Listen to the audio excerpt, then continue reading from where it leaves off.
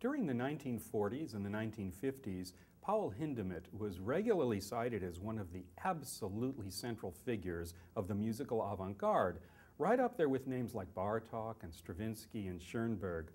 But he did not maintain quite the same position of importance that they did over the years and he's not now represented as strongly as they are in concert life, which is really a pity because he wrote some magnificent compositions, and that means it's really a big event when an orchestra like the New York Philharmonic plays a major symphonic work by Paul Hindemith, like the Symphony in E flat, which we hear very infrequently. The Symphony in E flat he composed for the Boston Symphony Orchestra. This is from the period when Hindemith left his native Germany during the Nazi era, uh, and because he was married to a woman of Jewish heritage, he had no option but to leave. And he came to the United States, and so this is uh, from right in the period in which he is discovering a new country. And one of the things that happened at that time is that he was commissioned by the Boston Symphony to write this piece. He wrote it for Serge Koussevitzky, the conductor of the Boston Symphony, 1940.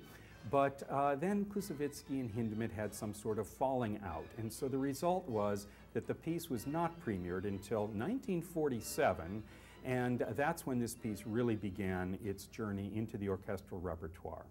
Spiritually, I often think Hindemith was really the direct descendant of Anton Bruckner, one of our great earlier symphonists, and I say this not because they shared a musical language, they didn't at all. Hindemith had his own distinct language, and it was very different from Bruckner's, but they share a sense of monumentality, a sense of, uh, of, of being drawn towards massive textures, towards bowling over the listener with the sheer sound and the power of the symphony orchestra. Hindemith shared this with Bruckner, and there's another link, I think, between the two composers. Both of them wrote so spectacularly for the brass section.